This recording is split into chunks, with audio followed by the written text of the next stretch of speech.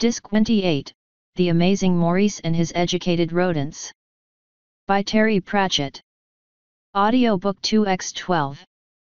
They'd have been really amazed if they'd ever found out that the that the rats and the piper met up with a cat somewhere in the bushes out of town, and solemnly counted out the money. Bad Blintz was waking up when Maurice entered with the kid. No one bothered them, although Maurice got a lot of interest. This did not worry him. He knew he was interesting. Cats walked as if they owned the place anyway, and the world was full of stupid-looking kids and people weren't rushing to see another one. It looked as though today was a market day, but there weren't many stalls and they were mostly selling, well, junk. Old pans, pots, used shoes, the kind of things people have to sell when they're short of money. Maurice had seen plenty of markets, on their journeys through other towns, and he knew how they should go. There should be fat women selling chickens, he said. And people selling sweets for the kids, and ribbons. Tumblers and clowns. Even weasel jugglers, if you're lucky. There's nothing like that. There's hardly anything to buy, by the look of it, said the kid. I thought you said this was a rich town, Maurice. Well, it looked rich, said Maurice. All those big fields in the valley, all those boats on the river, you'd think the streets d be paved with gold. The kid looked up. Funny thing, he said. What? The people look poor, he said. It's the buildings that look rich. And they did. Maurice wasn't an expert on architecture but the wooden buildings had been carefully carved and painted. He noticed something else, too. There was nothing careful about the sign that had been nailed up on the nearest wall. It said, Rats wanted dead. 50 pence per tail. Apply to. The rat catchers see slash o the Rathaus the kid was staring at it. They must really want to get rid of their rats here, said Maurice, cheerfully. No one has ever offered a reward of half a dollar a tail, said the kid. I told you this would be the big one, said Maurice. We'll be sitting on a pile of gold before the week's out. What's a rat house? said the kid, doubtfully. It can't be a house for rats, can it? And why is everyone staring at you? I'm a handsome looking cat, said Maurice. Even so, it was a little surprising. People were nudging one another and pointing at him. You'd think they'd never seen a cat before, he muttered, staring at the big building across the street. It was a big, square building, surrounded by people, and the sign said, Rot House. Rathaus just the local word for, like the council house, the town hall, he said. It's nothing to do with rats, amusing though it may be. You really know a lot of words, Maurice, said the kid, admiringly. I amaze myself, sometimes, said Maurice. A queue of people were standing in front of one huge open door. Other people, who had presumably done whatever it was the queue was queuing to do, were emerging from another doorway in ones and twos. They were all carrying loaves of bread. Shall we queue up too? said the kid. I shouldn't think so, said Maurice, carefully. Why not? See those men on the door. They look like watchmen. They've got big truncheons. And everyone's showing them a bit of paper as they go past. I don't like the look of that, said Maurice. That looks like government to me. We haven't done anything wrong, said the kid. Not here, anyway. You never know, with governments. Just sit still here, kid. I'll take a look. People did look at Maurice when he stalked into the building, but it seemed that in a town beset by rats a cat was quite popular. A man did try to pick him up, but lost interest when Maurice turned and clawed the back of his hand. The queue wound into a big hall and passed in front of a long trestle table.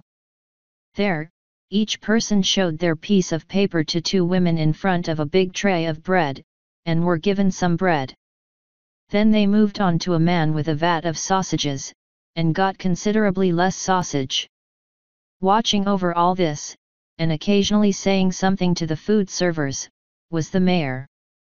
Maurice recognized him instantly because he had a gold chain around his neck. He had run across a lot of mayors since working with the rats. This one was different from the rest. He was smaller, far more worried, and had a bald spot that he'd tried to cover with three strands of hair. He was a lot thinner than other mayors Maurice had seen, too.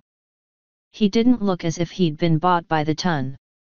So, food is scarce, Maurice thought. They're having to ration it out. Looks like they'll be, needing a piper any day now. Lucky for us we arrived just in time. He walked out again, but this time a bit faster, because he realized that someone was playing a pipe. It was, as he feared, the kid. He'd put his cap on the ground in front of him, and had even accumulated a few coins. The queue had bent round so that people could hear him, and one or two small children were actually dancing. Maurice was only an expert on cat singing, which of standing two inches in front of other cats and screaming at them until they give in. Human music always sounded thin and watery to him. But people tapped their feet when they heard the kid play. They smiled for a while. Maurice waited until the kid had finished the tune. While the queue was clapping, he sidled up behind the kid, brushed up against him and hissed, Well done, fish for brains. We're supposed to be inconspicuous L come on, let's go. Oh, grab the money, too. He led the way across the square until he stopped so suddenly that the kid almost trod on him. Whoops, here comes some more government, he said. And we know what these are, don't we? The kid did. They were rat catchers, two of them. Even here, they wore the long dusty coats and battered black top hats of their profession. They each carried a pole over one shoulder, from which dangled a variety of traps. From the other shoulder hung a big bag, the kind you really wouldn't want to look inside. And each man had a terrier on a string. They were skinny, argumentative dogs, and growled at Maurice when they were dragged past. The queue cheered as the men approached, and clapped when they both reached into their bags and held up a couple of handfuls of what looked, to Maurice, like black string. Two hundred today, shouted one of the rat catchers. One of the terriers lunged at Maurice, tugging frantically on its string.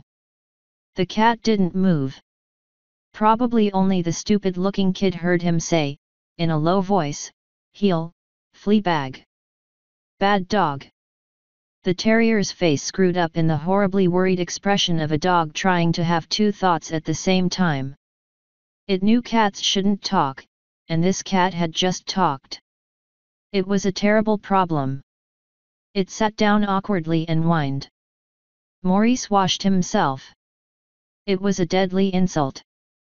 The rat catcher, annoyed at such a cowardly performance from his dog, jerked it away and dropped a few of the black strings. Rat tails, said the kid.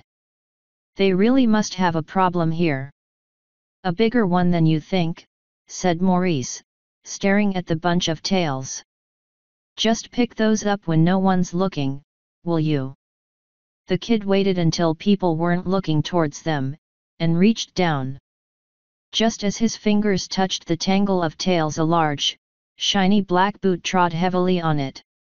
Now, you don't want to go touching them, young sir, said a voice above him. You can get plague, you know, from rats. It makes your legs explode. It was one of the rat catchers. He gave the kid a big grin, but it was not a humorous one.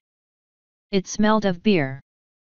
That's right, young sir, and then your brains come down your nose, said the other rat catcher, coming up behind the kid. You wouldn't dare use your hanky, young sir, if you got the plague. My associate has as usual put his finger right on it, young sir, said the first rat catcher, breathing more beer into the kid's face. Which is more than you'd be able to do, young sir, said Ratcatcher 2, because when you get the plague, your fingers go all your legs haven't exploded, said the kid. Maurice groaned. It was never a good idea to be rude to a smell of beer. But the rat catchers were at the stage where, against all the odds, they thought they were funny. Ah, well said, young sir, but that's because lesson 1 at the Guild of Ratcatchers school is not letting your legs explode, said Ratcatcher 1. Which is a good thing cause the second lesson is upstairs, said Ratcatcher 2.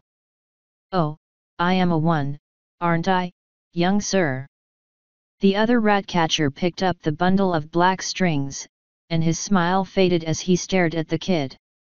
Ain't seen you before, kid, he said, and my advice to you is, keep your nose clean and don't say nothing to nobody about anything. Not a word. Understand? The kid opened his mouth, and then shut it hurriedly. The rat catcher grinned his awful grin again. Ah! You catch on quick, young sir, he said. Perhaps we'll see you around, eh? I bet you'd like to be a rat catcher when you grow up, eh, young sir, said Ratcatcher 2, patting the kid too heavily on the back. The kid nodded. It seemed the best thing to do. Ratcatcher 1 leaned down until his red, pock-marked nose was an inch away from the kid's face. If you grow up, young sir, he said. The ratcatchers walked away, dragging their dogs with them. One of the terriers kept looking back at Maurice. Very unusual ratcatchers they have hereabouts, said the cat. I haven't seen rat catchers like them before, said the kid. They looked nasty. Like they enjoyed it. I haven't seen rat catchers who've been so busy but still have nice clean boots, said Maurice. Yes, they did, didn't they? said the kid. But even that's not as odd as the rats round here, said Maurice, in the same quiet voice, as though he was adding up money. What's odd about the rats, said the kid. Some of them have very strange tails, said Maurice. The kid looked around the square. The queue for bread was still quite long, and it made him nervous. But so did the steam. Little bursts of it puffed up from gratings and manhole covers all over the place, as if the whole town had been built on a kettle. Also, he had the distinct feeling that someone was watching him. I think we ought to find the rats and move on, he said. No, this smells like a town with opportunities, said Maurice. Something's going on, and when something's going on, that means someone's getting rich and when someone's getting rich, I don't see why that shouldn't be us. Yes, but we don't want those people killing Dangerous Beans and the rest of them. They won't get caught, said Maurice. Those men wouldn't win any prizes for thinking. Even Hamnpork could run rings round em, I'd say. And Dangerous Beans has got brains coming out of his ears. I hope not. Nah, nah, said Maurice, who generally told people what they wanted to hear, I mean our rats can outthink most humans, okay? Remember back in Skrit when Sardines got in that kettle and blew a raspberry at the old woman when she lifted the lid? Ha, even ordinary rats can outthink humans. Humans think that just because they're bigger, they're better hold on, I'll shut up, someone's watching us. A man carrying a basket had stopped on his way out of the Rathaus and was staring at Maurice with a good deal of interest. Then he looked up at the kid and said, Good ratter, is he? I'll bet he is, a big cat like that. Is he yours, boy? Say yes, Maurice whispered. Sort of, yes, said the kid. He picked Maurice up. I'll give you five dollars for him, said the man. Ask for ten, Maurice hissed. He's not for sale, said the kid. Idiot. Maurice purred. Seven dollars, then, said the man. Look, I'll tell you what I'll do, four whole loaves of bread, how about that? That's silly. A loaf of bread shouldn't cost more than twenty pence, said the kid. The man gave him a strange look. New here, are you? Got plenty of money, have you? Enough, said the kid. You think so? It won't do you much good, anyway. Look, four loaves of bread and a bun, I can't say fairer than that. I can get a terrier for ten loaves and they're mad for rats, no? Well, when you're hungry you'll give it away for half a slice of bread and scrape one and think you've done well, believe me. He strode off. Maurice wriggled out of the kid's arms, and landed lightly on the cobbles. Honestly, if only I was good at ventriloquism we could make a fortune, he grumbled. Ventriloquism, said the kid, watching the man's retreating back. It's where you open and shut your mouth and I do the talking, said Maurice. Why didn't you sell me? I could have been back in ten minutes. I heard of a man who made a fortune selling homing pigeons, and he only had the one.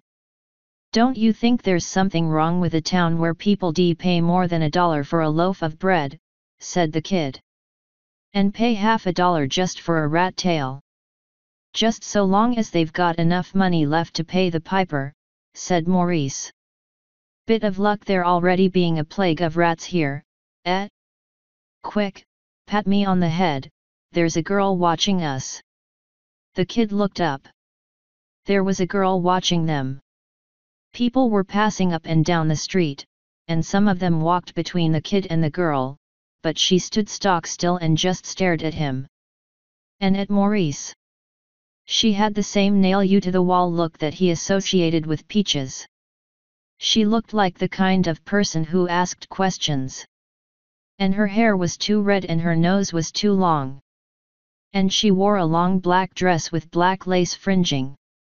No good comes of that sort of thing. She marched across the street and confronted the kid. You're new, aren't you? Come here looking for work, have you? Probably sacked from your last job, I expect. Probably because you fell asleep, and things got spoiled. That was probably what it was. Or you ran away because your master beat you with a big stick, although, she added, as another idea struck her, you probably deserved it because of being lazy. And then you probably stole the cat, knowing how much people would pay for a cat here. And you must have gone mad with hunger because you were talking to the cat and everyone knows that cats can't talk. Can't say a single word, said Maurice. And probably you're a mysterious boy who the girl stopped and gave Maurice a puzzled look. He arched his back and said PRPPT, which is cat language for biscuits. Did that cat just say something? she demanded. I thought that everyone knew that cats can't talk, said the kid. Ah, but maybe you were apprenticed to a wizard, said the girl. Yes, that sounds about right. That'll do for now. You were an apprentice to a wizard, but you fell asleep and let the cauldron of bubbling green stuff boil over and he threatened to turn you into a, a, a gerbil, said Maurice, helpfully. A gerbil, and you stole his magical cat because you hated it so much and what's a gerbil?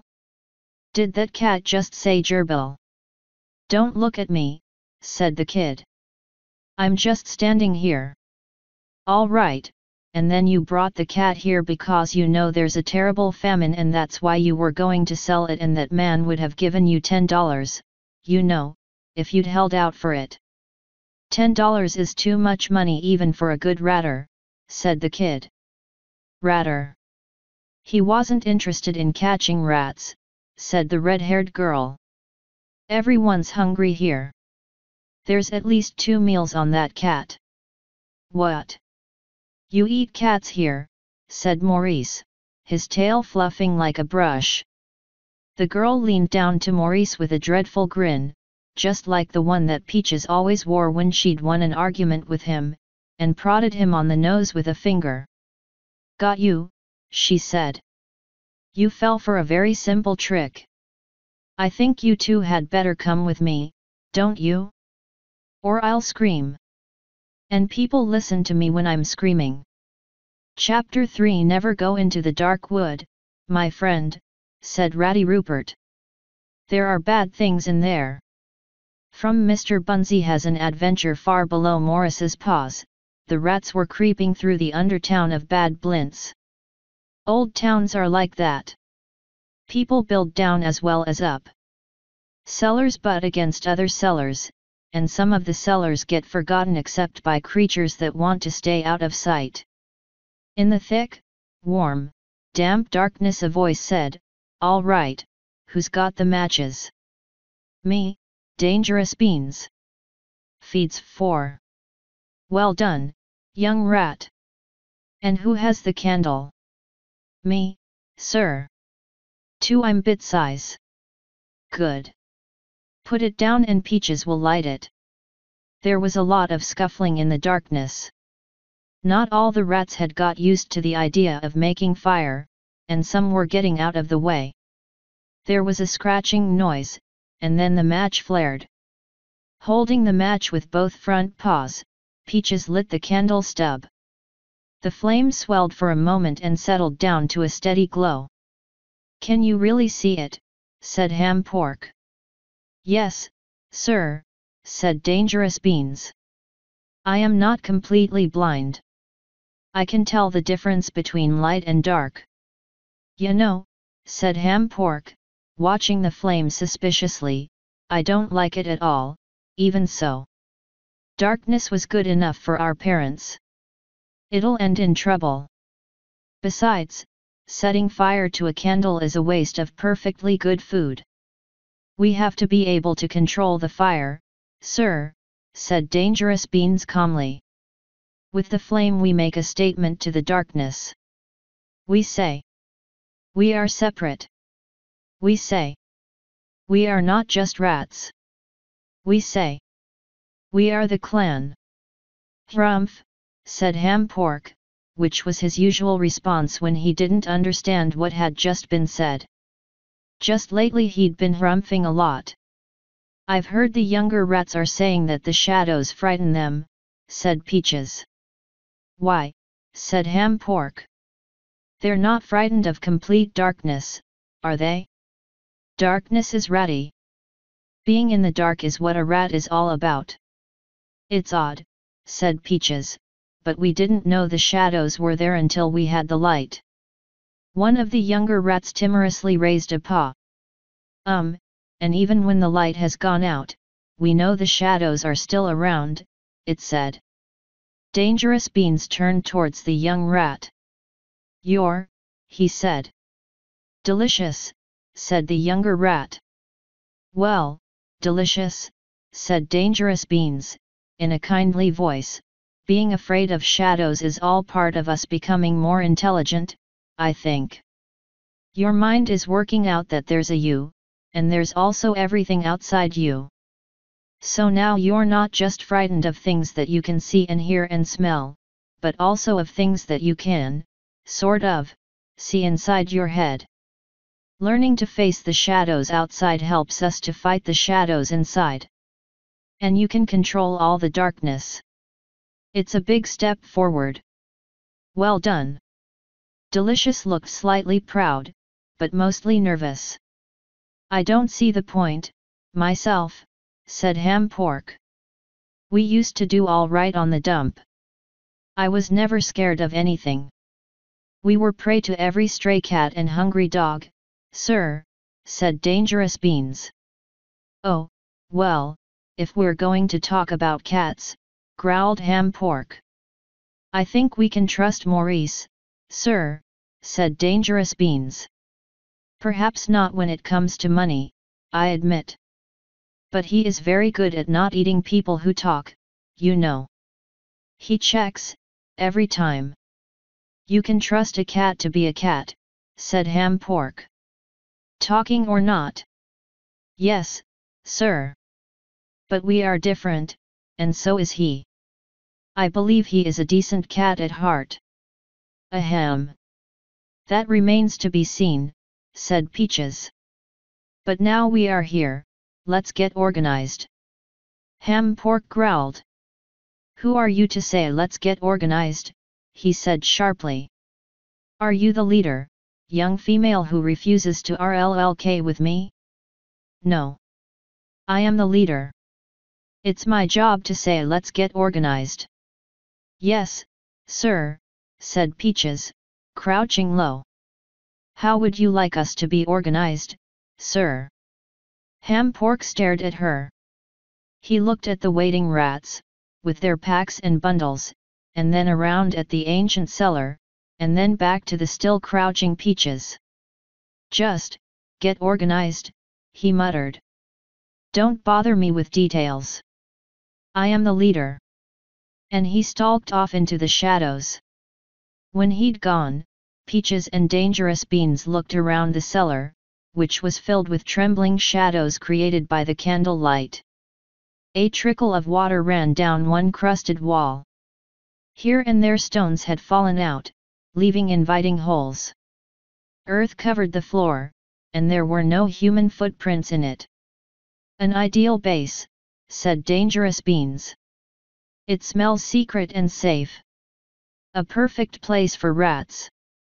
Right, said a voice. And you know what's worrying me about that?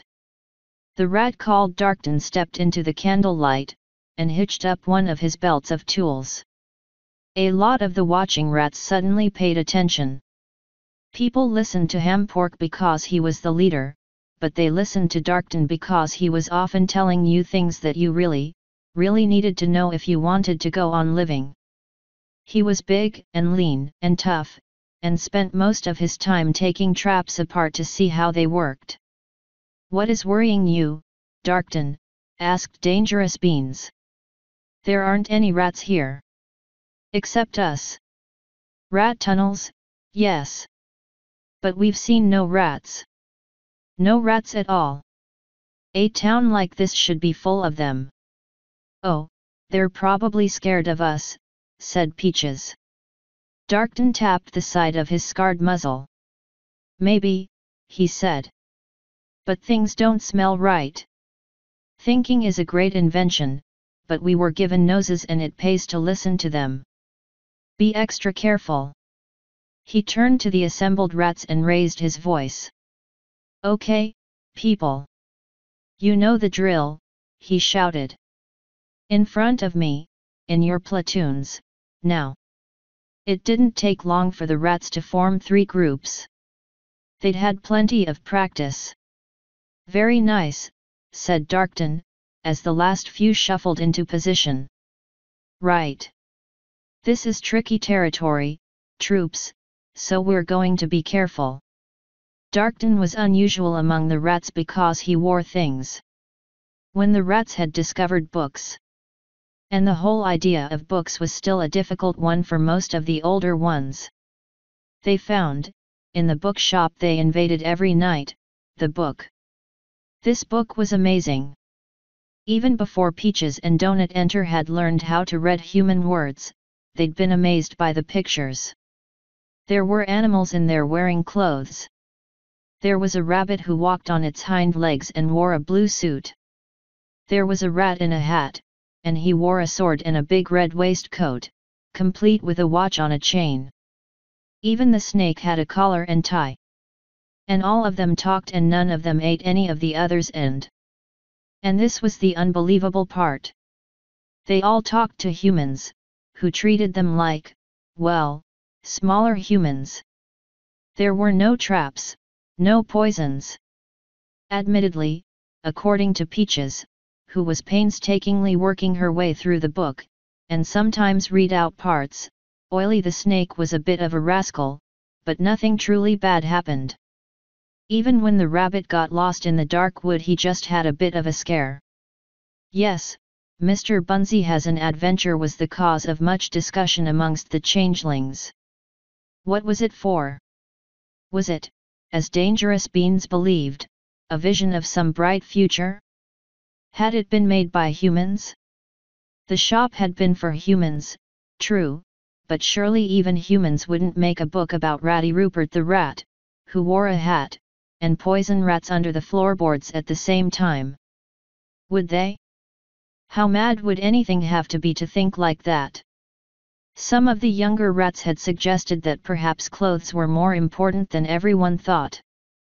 They'd tried wearing waistcoats, but it had been very difficult to bite out the pattern, they couldn't make the buttons work and, frankly, the things got caught on every splinter and were very hard to run in. Hats just fell off. Darktan just thought that humans were mad, as well as bad. But the pictures in the book had given him an idea. What he wore was not so much a waistcoat as a network of wide belts, easy to wriggle in and out of. On them he'd sewn pockets. And that had been a good idea, like giving yourself extra paws. To hold all the things he needed, like metal rods and bits of wire. Some of the rest of the squad had taken up the idea, too. You never knew what you were going to need next, on the trap disposal squad. It was a tough, ratty life. The rods and wires jangled as Darktan walked up and down in front of his teams.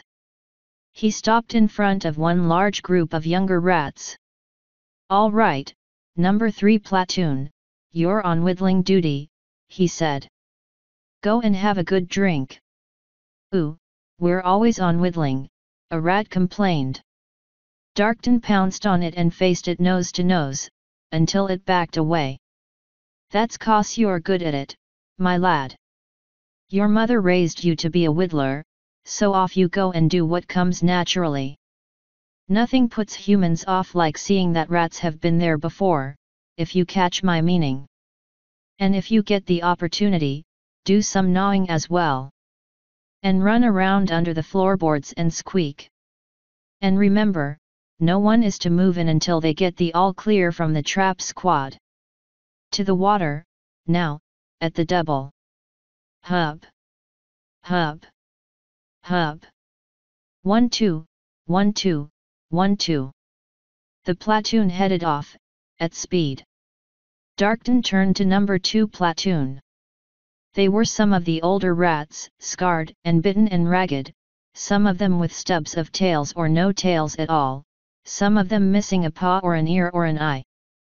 In fact although there were about 20 of them, they had between them only enough bits to make up about 17 complete rats. But because they were old they were cunning, because a rat who isn't cunning and shifty and suspicious doesn't become an old rat. They'd all been grown up when the intelligence came. They were more set in their old ways. Hamnpork always said he liked them that way. They still had a lot of basic rattiness, the kind of raw cunning that would get you out of the traps that overexcited intelligence got you into. They thought with their noses. And you didn't have to tell them where to whittle. All right, people, you know the drill, said Darktan. I want to see lots of cheeky stuff. Stealing the food out of cats' bowls, pies from under the cook's noses false teeth from out of old men's mouths said a small rat, who seemed to be dancing on the spot while he stood there. His feet moved all the time, tippity-tapping on the cellar floor. He wore a hat, too, a battered, homemade thing out of straw. He was the only rat who could make a hat work, by wedging his ears through it. He said to get ahead, you had to get a hat. That was a fluke, sardines. I bet you can't do it again, said Darktan, grinning. And don't keep on telling the kids how you went for a swim in someone's bathtub. Yeah, I know you did, but I don't want to lose anyone who can't scramble out of a slippery tub. Anyway, if I don't hear ladies screaming and running out of their kitchens within 10 minutes I'll know you're not the rats I think you are. Well? Why are you all standing around? Get on with it. And. Sardines. Yes, boss. Easy on the tap dancing this time, all right. I just got these dancing feet, boss. And do you have to keep wearing that stupid hat? Darktan continued, grinning again. Yes, boss. Sardines was one of the older rats, but most of the time you wouldn't know it. He danced and joked and never got into fights. He'd lived in a theater and once ate a whole box of grease paint. It seemed to have got into his blood. And no going on ahead of the trap squad, said Darktan. Sardines grinned. Ah, boss, can't I have any fun? He danced after the rest of them, towards the holes in the walls. Darktan moved on, to number one platoon. It was the smallest. You had to be a certain kind of rat to last a long time in the trap disposal squad. You had to be slow, and patient, and thorough. You had to have a good memory. You had to be careful. You could join the squad if you were fast and slapdash and hasty. You just didn't last very long. He looked them up and down, and smiled. He was proud of these rats. Okay, people, you know it all by now, he said. You don't need a long lecture from me. Just remember that this is a new town so we don't know what we're going to find. There are bound to be plenty of new types of traps, but we learn fast, don't we? Poisons, too. They might be using stuff we've never run across before, so be careful. Never rush, never run. We don't want to be like the first mouse, et. No, Darktan, the rats chorused dutifully. I said, what mouse don't we want to be like? Darktan demanded.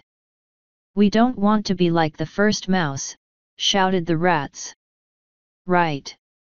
What mouse do we want to be like? The second mouse, Darktan, said the rats, who'd had this lesson dinned into them many times. Right. And why do we want to be like the second mouse? Because the second mouse gets the cheese, Darktan. Good, said Darktan. Inbrin will take squad 2. Best before?